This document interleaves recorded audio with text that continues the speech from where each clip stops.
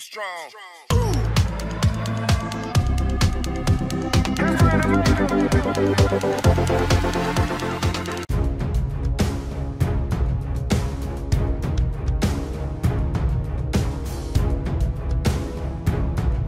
Sa aking nakaraang video nitong nakaraang linggo lamang ay aking ipinaliwanag na nagiging malabo na ang offer ng Sweden sa Pilipinas ng mga JAS 39 Gripen fighter jets sa kanilang proyekto sa ilalim ng AFP Modernization Program at nauungusan na ito ng mga F-16 Viper fighter jets na offer ng Estados Unidos. Maliban sa mas magandang relasyon ng Pilipinas at Amerika nang dahil na rin sa patuloy nitong pagbibigay ng military assistance sa ating hukbong sanatahan at pagtatayo ng mga US military facility dito sa Pilipinas, pumayag na ang Sweden na magsagawa ng training ang Ukrainian Armed Forces sa kanilang mga JAS-39 Gripen at palipa rin mismo ito ng kanilang piloto kaya mukhang mapupunta pa sa Ukraine ang mga Gripen na ibibenta sana sa atin ng Sweden. Sa mga hindi nakakaalam, ang variant o klase ng Gripen na binibenta sa atin ng Sweden ay hindi na minamanufacture at panghuling batch na ng mga fighter jets dahil papalitan na ito ng bagong variant na kung tawagin ay Gripen NG na mas upgraded ngunit napakamahal din ang presyo nito. Simula 2018 pa ino-offer ng Sweden ang mga Gripen sa Pilipinas at makalipas ang limang taon na hindi pa rin makapagdesisyon ang Philippine government kung alin sa Gripen o Vipers ang kanilang kukunin, kaya mukhang mauunahan pa ang Pilipinas ng ibang bansa pagdating sa Gripen. At sa balita nitong linggo lamang, mas lalo pang lumalayo ang tsansa ng Gripen na manalo sa proyekto matapos ibalitang inaasahang magbibigay ang Amerika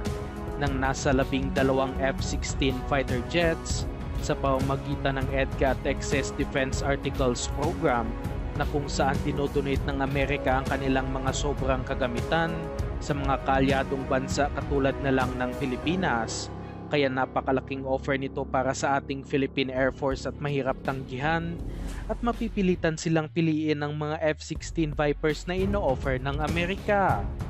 Ang mga F-16 Vipers ay ang pinaka-latest at pinaka-advanced na variant ng F-16 at nasa labing dalawa nito ang inoffer ng American Defense Company na Lockheed Martin sa halagang 120 billion pesos kaya hindi biro ang ganito kalaking halaga sa mga bansang katulad ng Pilipinas. Ngunit kapag ito ang pipiliin ng Philippine Air Force, hindi lang tayo magkakaroon ng advanced na fighter aircraft na kayang tapatan ang mga manghihimasok na aircraft sa ating airspace, kundi magkakaroon tayo ng dagdag na labing dalawang fighter jets para sa ating Air Force. Kaya sa suma total ay magkakaroon tayo ng 24 na F-16 multi-role fighters napakalaking upgrade nito sa kapabilidad ng ating hukbong sandatahan dahil magkakaroon tayo ng kakayahang ma-intercept ang papasok sa ating airspace at magkakaroon na tayo ng mas malakas na air defense kaya dapat na talagang kunin ng Pilipinas ang offer ng Amerika. Mismong si Philippine Ambassador to the United States Jose Manuel Romualdez ang nagsabi sa isang interview na magkakamali ang lahat ng nagsasabing all air at no force ang ating Philippine Air Force at isa itong sinyales na papalapit na na mapipirmahan ang kontrata para sa pagbili ng F-16 ng Pilipinas sa Amerika. Isang pirma na lang ni Presidente Marcos ang proyektong ito at sa pagkikita nila ni US President Joe Biden nitong Mayo lamang ay mas nagpapatibay palalo sa defense cooperation ng dalawang bansa na mas nagpapalaki ng chance na F-16 na talagang mapipili sa proyekto. Sa aking opinyon lamang, ay hindi pabor sa Pilipinas na gripen ang kukunin nito sa kanilang proyekto at sa mga hindi nakakaalam, hindi inaprobahan noon ng Swedish government ang pagbenta ng mga gripen sa ating bansa nang dahil na rin sa isyo ng human rights sa ilalim ng administrasyon ni dating Pangulong Rodrigo Duterte at pumayag lang sila sa pag-export nito sa Pilipinas noong naging presidente na si Pangulong Bongbong Marcos. Samantalang noong administrasyon pa rin ni Pangulong Duterte, aprobado na ng US government ang pagbenta ng mga armas sa Pilipinas, lalong-lalo na ang mga F-16 at ang tanging naging hadlang lamang noon ay nagkaroon ng malaking problema sa budget matapos ang nangyaring pandemya na nagpalubog sa ekonomiya ng Pilipinas. Mas malaki din ang mabibenepisyo ng ating Air Force kapag F-16 ang kanilang kukunin dahil makakatulong sa maintenance at spare parts ng US military lalo na't lumalaki na ang kanilang presensya dito sa ating bansa nang dahil na rin sa Enhanced Defense Cooperation Agreement o EDCA. Sa ngayon, ilang linggo na lang upuan ang ating hihintayin bago tuluyang mapipirmahan ang kontrata dahil ang pagkakaroon ng fighter jets ang prioridad sa ngayon ng Philippine government pati na rin ang ating hukbong sandatahan. Samantalang sa balita naman pagdating sa Philippine Navy, pinaplano ng Hyundai Heavy Industries ng South Korea na magtayo ng kanilang shipbuilding facility sa Subic Bay sa Zambales upang mas mapalakas pa ang kanilang tsansa pagdating sa AFP modernization program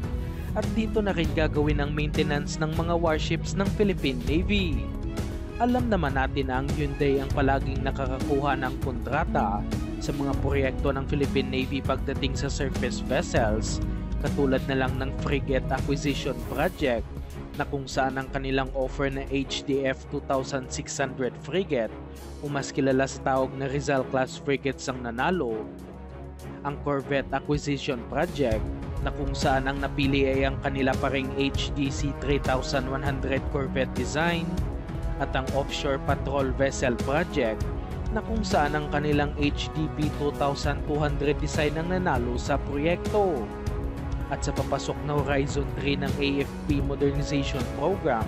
sa ilalim ni Pangulong Marcos, tinatayang nasa 500 billion pesos ang magiging budget para sa pagbili ng bagong kagamitan ng ating hukbong sandatahan at pinaplano pa ng Navy na magdagdag ng mas marami pang warships. At kapag magkakaroon ng shipbuilding facility ang Hyundai dito sa Pilipinas, mas magiging mabango ito para sa ating Philippine Navy dahil sila na rin mismo ang nagsabi na gusto nilang kumuha ng mga barko sa isang kumpanya lamang upang hindi maging pahirapan ng maintenance at spare parts ng kanilang surface vessels at masisiguradong palaging nasa top condition ng ating mga warships. Marami pa ding hindi pa natatapos na gawain ng Hyundai katulad na lang ng mga Rizal class frigates na kung saan kailangan pa nila itong kabitan ng tinatawag na vertical launch system na paglalagyan ng surface-to-air missiles nito na magiging pangdepensa ng barko at pati na rin ang tinatawag na towed array sonar na magagamit sa pagdetect ng mga kalabang submarines at iba pang underwater na mga vessels. Ang pagtatayo din ng mga shipbuilding facility na ito ay makakapagbigay ng trabaho sa mga Pilipino at malaking tulong sa pag-unlad ng ekonomiya ng Subic. Sa ngayon, umaasa tayong matutuloy ang planong ito dahil malaking